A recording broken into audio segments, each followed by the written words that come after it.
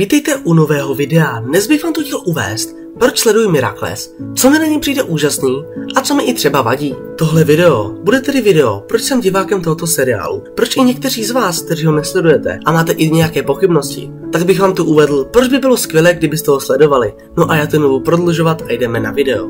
Ještě než bych přešel do úplného začátku videa, tak tady nebudu moc protahovat děj, je hlavní zápletky. No každopádně, proč mě, 18 letému klukovi, se tento seriál líbí? No odpověď je zřejmá. První série řadí mezi mými méně oblíbenými.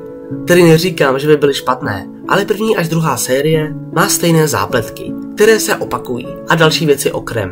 Ale pak tu přichází třetí série, která už naznačuje budoucnost seriálu. Asi největším příkladem vemu epizodu Vládce času, která nám naznačuje budoucnost jako takovou, kdy nám už dávají najevo svoji vizi, jak by děj měl směřovat. Mně se líbí na tom, že ta animace každou sérii jde úplně jinam.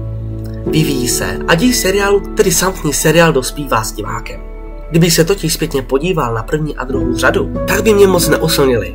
Pokud bych nebyl úplně zarytým fanouškem, ale každou novou sérii, tedy čtvrtá až pátá, je její neuvěřitelně skvělý. Animace je více propracovanější, Pouto mezi Adrianem a Marinette se rozvíjí a mnoho dalšího. Já seriál sleduji od svých deseti let, ale čtvrtá řada, když jsem ji začal sledovat a o které víme, že byla od cca tři roky zdržena kvůli pandemii koronaviru, nabírá jiný směr který jako divák hned kam pozná. Zápletka už má jiné cíle a epizody se už moc neopakují. Pokud jste fanouškem už těch pár let, tak asi chápete, o čem tu mluvím. Ale pro diváky, kteří sledují toto video a chcete dát Mirakles šanci, tak vám jim řeknu, že první série, tedy první a druhá, nejsou až moc dobré, co se týče zapůsobení staršího diváka.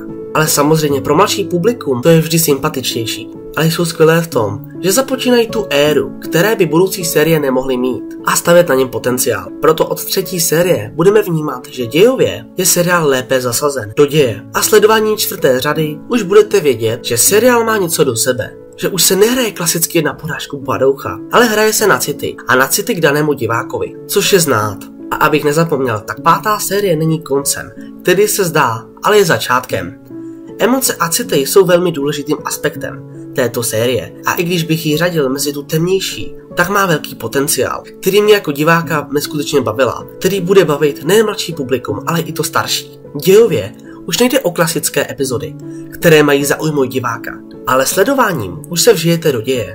Půlka páté série je částečně pomalá a snaží se diváka připravit na velké finále. Důraz na city, jak říkám, je velmi znát. Chemie mezi postavami jde vidět a samotné finále je neskutečné a šokující v tom, že jste nevěděli, jak to skončí. Přeci jen vždy zvítězí dobro nad zlem. Ano, při konci čtvrté série jsme měli totéž, jenže tedy u konce páté série to byl jiný kalibr. Kalibr, který odstartoval novou dějovou linku seriálu. A proto seriál doporučuji všem. Sledováním uvidíte, jak roste s divákem a vlastně, co na něm každý má rád a miluje. Já samozřejmě nevidím nikomu do toho, co má radši, ale každý, kdo Mirakle sledoval, nebo kdo ví, o čem to je, tak uzná, že seriál si prošel velkou změnou. V půlce třetí série, ale až s příchodem i čtvrté série.